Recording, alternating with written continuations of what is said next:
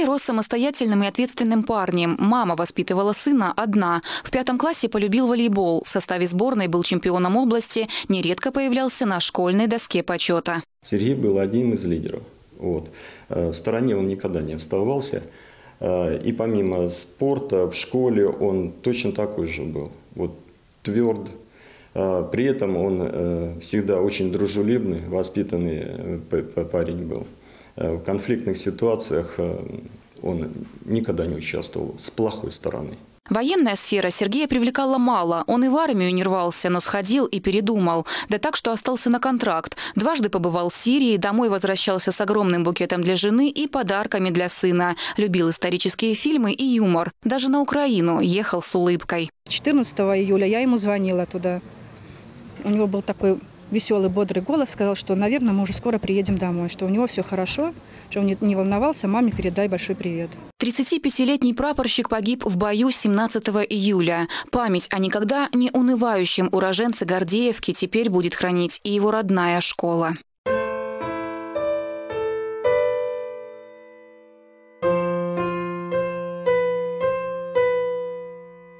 Алексей Пригода рос добрым, ласковым мальчиком, целовал маму при каждой встрече, обожал военные фильмы, любил спорт и технику. Любил сидеть за первой партой, потому что всегда хотел быть в центре событий. Он был очень общительным мальчиком, потому что общался со всеми в классе, и с девочками, и с мальчиками. И всегда хотел быть в центре всех событий.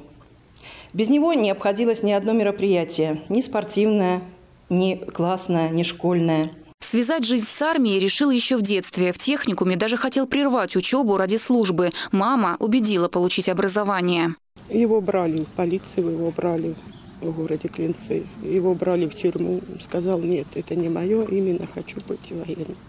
Все время мне говорил и сестрам моим, что мама, вы будете мною гордиться. Три года назад Алексей заключил контракт, объездил полмира, заслушивался военным оркестром, собирался жениться, строил большие планы. Накануне трагической даты 23-летнего сержанта ранили, но он продолжил бой. Не, не прятался, молодец был. Никогда не прятался, ни трусом никогда не был. Всегда стремился быть первым. Мальчики вот рассказывали, которые с ним раненые были, приезжали на могилку. Говорят, что вообще вот кого-кого, говорит, не ожидали, что с Лешем это случится. Он такой шустрый был. И даже, говорит, первый пошел, не успели, говорит, скомандовать. Он поднялся ранен и пошел. Первый ехал в машине. 21 марта Алексея не стало. Напоминать о его подвиге настоящим и будущим поколениям земляков будет эта мемориальная доска. Светлана Дробкова, Евгений Цветков, Андрей Шевченко, Григорий Дупанов. События. Гордеевка.